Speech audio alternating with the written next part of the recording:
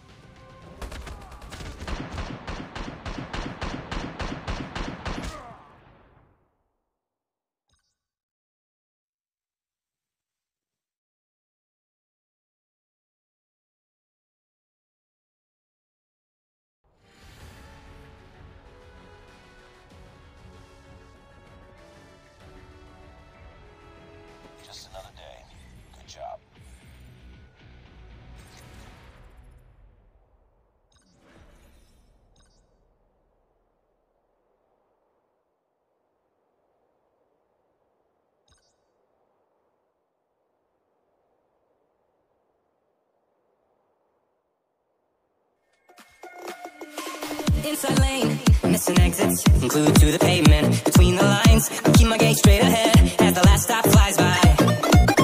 No more waiting for the gun to fire. No more.